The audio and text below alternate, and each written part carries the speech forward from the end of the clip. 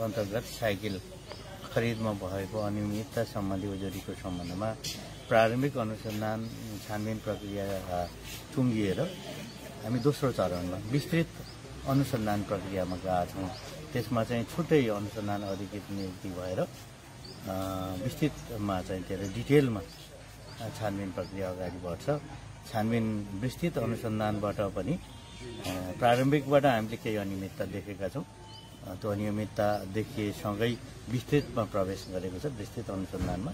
त्यसमा पनि देखियो भने तदनुरूप कानुन बमोजिम चाहिँ अगाडि बढ्छ। त्यो चाहिँ विस्तृतमा पनि अनियमित भएको देखियो भने भ्रष्टाचार भए गरेको देखिन्छ।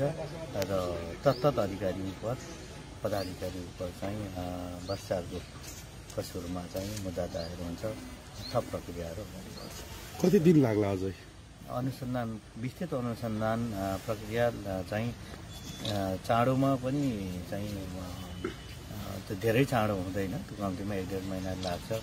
संलग्न अधिकारीहरूको चाहिँ बयान लिने कुराहरू विभिन्न किसिमका प्रमाणहरूलाई परीक्षण गर्ने कुराहरू र त्यसपछि अभियोजन तयार गर्ने कुराहरू देखियो भने विस्तृत अनुसन्धानबाट पनि भ्रष्टाचार भए गरेको देखियो भने त्यसपछि मुद्दा दायर हुने हो।